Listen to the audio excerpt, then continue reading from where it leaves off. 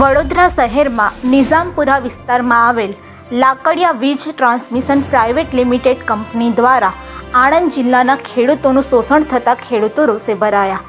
અમારા સંવાદદાતા દ્વારા ખેડૂતોની મુલાકાત લેતા રોષે ભરાયેલા ખેડૂતોએ જણાવ્યું હતું કે આ વીજ કંપની દ્વારા તેઓની સાથે અન્યાય થયેલ છે. તેમજ જમીનનું તેમને યોગ્ય વળતર પણ મળેલ નથી. વધુમાં કેટલાક ખેડૂતોએ જણાવ્યું હતું કે તેઓની જમીનમાં તમાકુ, કપાસ, કેળ અને બટાકા જેવી ખેતી કરવામાં આવતી હતી. પરંતુ આ થાંભલા નાખવામાં આવતા આ જમીનની ફળદ્રુપતા ઘટવા પામી છે. તેમજ જમીનમાં જીસીબી અને ટ્રેક્ટરોની વારંવાર અવરજવરને કારણે જમીનમાં મોટા ખાડા પડી ગયેલ છે, જેથી ખેડૂતોને ખૂબ જ મોટા પ્રમાણમાં નુકસાન થયેલ છે. તેમ છતાં કંપનીના કોન્ટ્રાક્ટર દ્વારા તદ્દન નજીવી રકમ ચૂકવવામાં આવી છે. તો કેટલાકને તો હજુ સુધી કોઈ પણ પ્રકારના પૈસા પણ મળ્યા નથી. વધુમાં કેટલાક ખેડૂતોને અન્ય ગામોમાં તપાસ કરતા જાણવા મળેલ કે અન્ય ગામના ખેડૂતોને તો જમીનની ઘણી મોટી રકમ મળી છે. તો કેટલાક ગામમાં તો તેના હજુ સુધી કોઈ પણ પ્રકારની ચૂકવણી પણ થઈ નથી. તો શું કંપનીમાંથી ખેડૂતોને જે રકમ ચૂકવવામાં આવે છે, તે રકમ ખેડૂતોને મળતી નથી તો કોના ખિસ્સામાં જાય છે? કોણ છે જે ખેડૂતોને રકમ અપાવવાના નામ પર કમિશન ખાય છે? શું એક જ ગામ અને એક સાથે આવેલી જમીનના પૈસા અલગ અલગ હોઈ શકે? આવા ઘણા પ્રશ્નો અને ઘણા ચહેરાઓ છુપાયેલા આ પ્રકરણમાં જેમનો ટૂંક જ સમયમાં જ પર્દાફાશ કરવામાં આવશે અમારી ચેનલ દ્વારા. શું નામ કાકા? મહેબૂબ ખાન રહીમ ખાન પઠાણ. શું પ્રશ્ન છે? પ્રશ્ન એ છે કે ભાઈ અમારા જે ખેતી લાયક જે અમારી જમીનો છે એની અંદરથી આ લાઈનો ગઈ છે હેવી પાવરની અને એનાથી અમારી ખેતીને બી બહુ નુકસાન થયું છે અને અમારી જમીનોની વેલ્યુએશન ઓછી થઈ ગઈ છે. અને ભવિષ્યમાં પણ અમને ઉત્પાદન લેવલે પણ કશું મળે એવું નથી અને જમીનો વેચીએ તો પણ હવે અમને એની જે રીતે કિંમતો મળવી જોઈએ એવી મળી એવી નહીં. સાથે સાથે જે લોકો આ જે કંપનીએ જે લાઈનો નાખે છે એમણે અમારું શોષણ કર્યું છે અને અમારા નુકસાન પ્રમાણે અમને બિલકુલ નહિવત વળતર આપ્યું છે જે અમને બિલકુલ કોઈ પણ રીતે પોસાય એવું નહીં. શું નામ? આશિષ કુમાર વિઠ્ઠલભાઈ પટેલ. ગામ નાપા. નાપા તળપત શું પ્રશ્ન છે?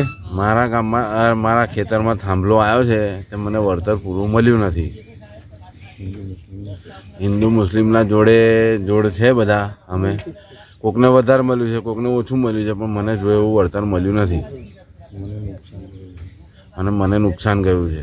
સરકાર પાસે શું અપેક્ષા રાખો છો? પૈસા વધારે મળે મને. વળતર મને પૂરેપૂરું મળે મારી નુકસાનીનું. ને અમને નુકસાન થયું છે ખેતરમાં. શું કહેતા હતા. શું નામ તમારું? મારું નામ કાજી સાજિદ મોહમ્મદ યુસુફ છે. હું નાપા ગામનો રહેવાસી છું. આ લાઈન ગઈ તો એમાં અમારા ખેતરને ઘણું બધું નુકસાન થયું છે. આ ખેતરમાં તમે જોયું હોત અમે આમાં તમાકુ કરી હતી, એની પહેલાં બટાકા કર્યા હતા. આ લાઈન છ મહિના પહેલાં ચાલુ થઈ હતી. છ મહિના તક તો અમે કશું પાક લીધો જ નથી અને એ આ પાક અમને પાકનો વળતર પણ નથી મળ્યો અને જે અમારી જમીન એમણે લઈ લીધી છે, એ જમીનનો પણ વળતર મળ્યો નથી. વળતર મળ્યો, પણ અમને કેવું મળ્યું? બહુ ઓછી ઓછી નજીવી કિંમતે અમને વળતર આપ્યું.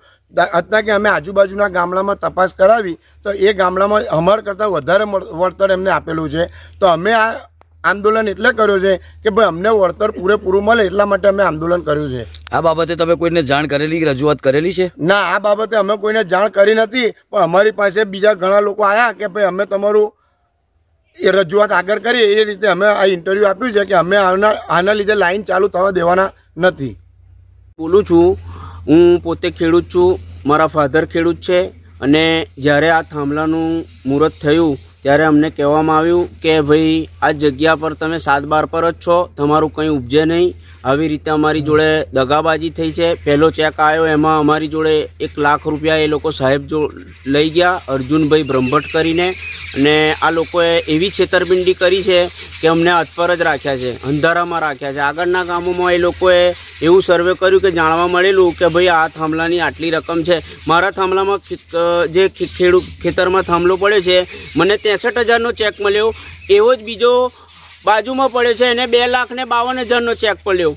એમાં આ જે એક થઈ રહ્યું છે એમાં અમે ગાંધીની રાહ ચીંધે આંદોલન કરીશું અને લાઈન ચાલુ થવા નહીં દઈએ. કોઈ બી હિસાબે. અને જે રસ્તો પડ્યો છે આ રસ્તા પર ઊભા છે ત્યાં બી આ લોકોએ અમારું કંઈ ગણગ્યાર્યું ના અને એવી રીતે સહીઓ કરાવી લીધી કે ભાઈ આ ફોર્મ પર સહી કરી દો. આમાં મોદીનું બી ચાલશે નહીં. તમારે આ લાઈન લઈ જવા દેવી પડશે. બસ બીજું કંઈ કહેવા નહીં માંગતો. અને અમારી ન્યાય મળે એવી રજૂઆત છે.